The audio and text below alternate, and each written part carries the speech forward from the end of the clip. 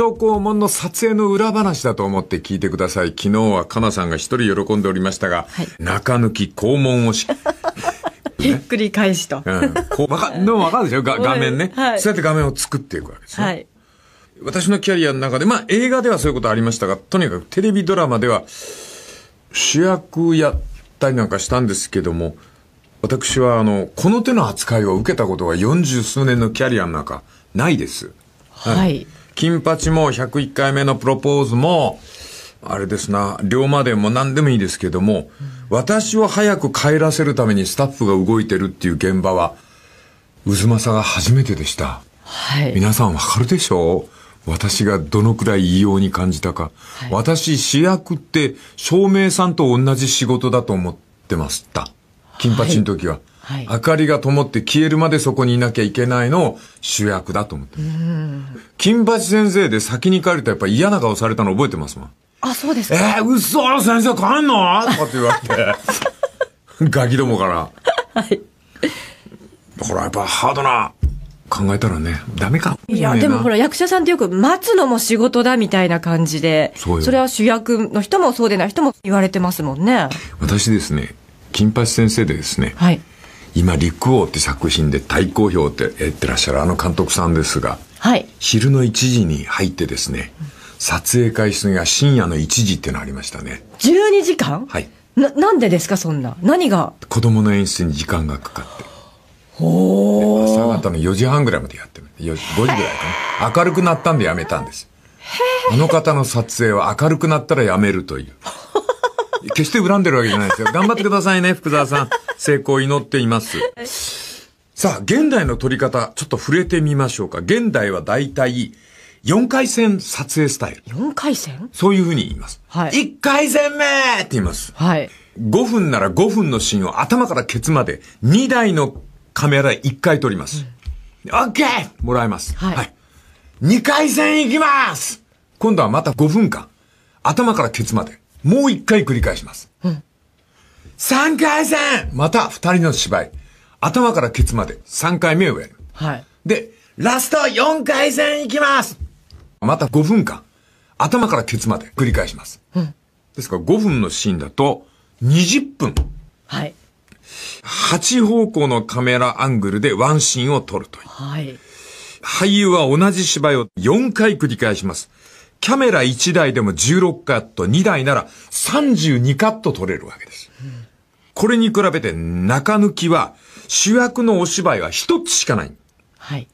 取り逃すと大変なことになるんです。あ、繋がらねえっていう。はい。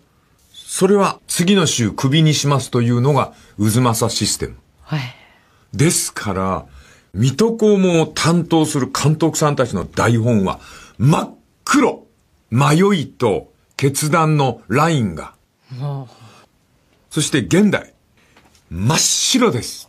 え？監督さんたちの台本ははい。現場で割っていきます。はあ、はあはあはあ、はい。ですから、荒いお芝居をやっといた後、全員待ちが。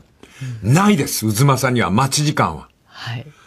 とにかく叫びながら、みんな汗まみれになって、カットを埋めていくわけです。はい。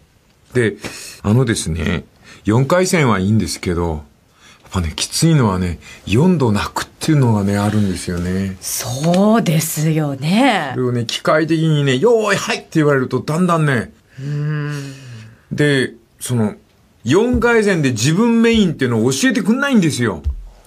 ここはあなたをメインに取ってますとかってはい言ってくれる人もいるんですが、言わない人がほとんどなんですよね。はいどれがいい回になるか分かんないから。だから、1回戦で涙が出ないと、ふって出てきて、今度泣けますよね、とかね。あのね、1回にかけさせてくんないんです、現代の若手の監督さんは。はい。これはね、時々、辛いことがあるんですよね。この4回戦やると、どれが自分のマイ、マイアングルなのかっていうのがわかんないんで、お客さんの位置がわからないんですよ。はいお客さんの位置、これ厚美さんのセリフでしたけど、はい。キャメラがいますよね。はいそこは客席なんですよ。はい。本能ですから、俳優って、その、キャメラがいる場所を客席だと思って演じてるんですよ。その客席の位置がですね、2台で8回変わるんですよね。そうするとですね、客が見てる方角がわからないのと、つながりの問題が出てくるんです。はい1回戦は左手で髪の毛をかき上げましたんで、2回戦、3回戦、4回戦も左手で書かなきゃいけないんで、芝居がつながりのための段取りになっちゃうんですよ。はい。最初俺下向いてたよねとか。これ全部覚えるんだよ。そういうのを全部こなしながら芝居作ってんだよ。でも俺申し訳ないけど、それは演技と関係ない無駄な努力だと思うんだけどそうな。か。ごめんね。ちょっと今、渦わさの不安になりすぎてるのかもしれません。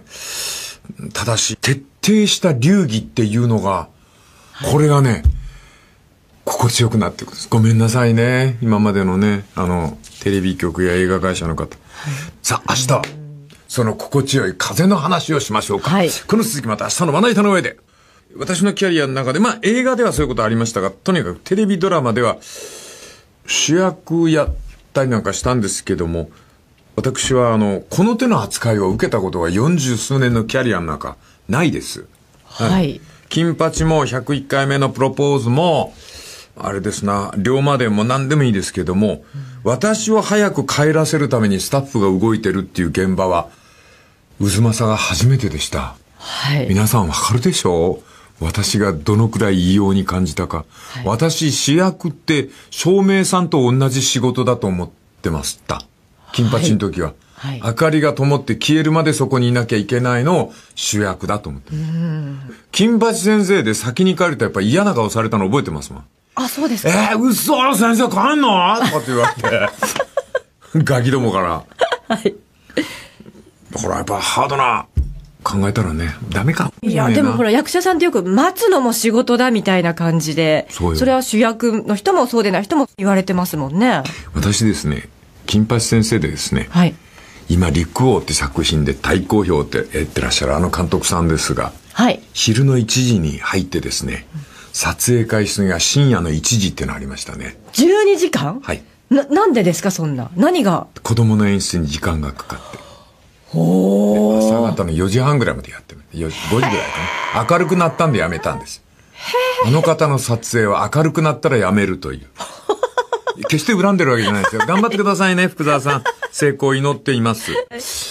さあ、現代の撮り方、ちょっと触れてみましょうか。現代はだいたい4回戦撮影スタイル。4回戦？そういうふうに言います。はい1回戦目って言います。はい。5分なら5分のシーンを頭からケツまで2台のカメラで1回撮ります。オッケーもらえます。はい2回戦行きます今度はまた5分間。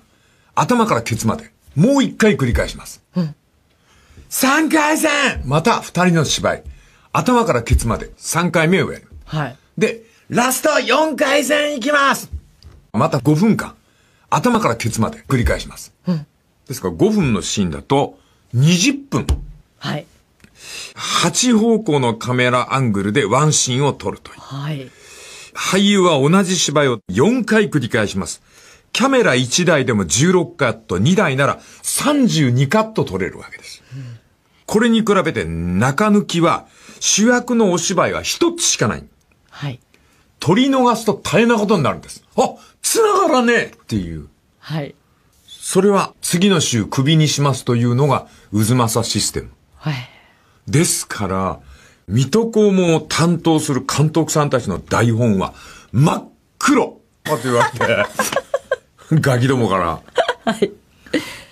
だからやっぱハードな考えたらね、ダメか。いや、でもほら、役者さんってよく待つのも仕事だみたいな感じで、そうよれは主役の人もそうでない人も言われてますもんね。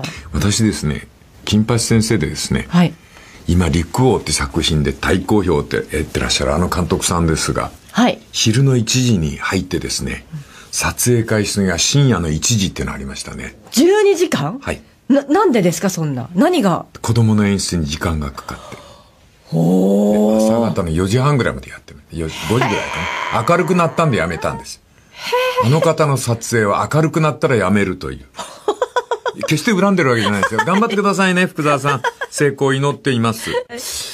さあ、現代の撮り方、ちょっと触れてみましょうか。現代はだいたい4回戦撮影スタイル。4回戦？そういうふうに言います。はい1回戦目って言います。はい。5分なら5分のシーンを頭からケツまで2台のカメラで1回撮ります。オッケーもらえます。はい2回戦行きます今度はまた5分間、頭からケツまで、もう1回繰り返します。3回戦また2人の芝居。頭からケツまで3回目をやる。はい。で、ラスト4回戦行きますまた5分間、頭からケツまで繰り返します。ですから5分のシーンだと、20分、はい。8方向のカメラアングルでワンシーンを撮るという。はい。俳優は同じ芝居を4回繰り返します。キャメラ1台でも16カット、2台なら32カット撮れるわけです。これに比べて中抜きは主役のお芝居は一つしかない。はい。撮り逃すと大変なことになるんです。あ繋がらねえっていう。はい。それは次の週クビにしますというのが渦政システム。はい。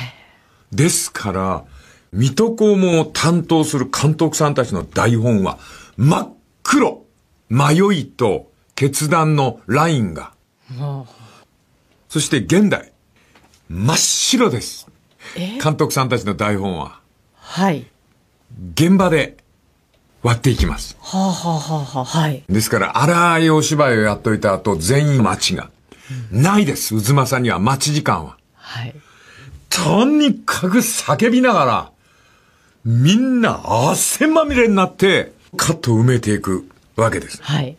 で、あのですね、4回戦はいいんですけど、やっぱね、きついのはね、4度泣くっていうのがね、あるんですよね。そうですよねそれ。をね、機械的にね、よーい、はいって言われると、だんだんね、で、その、4回戦で自分メインっていうのを教えてくんないんですよ。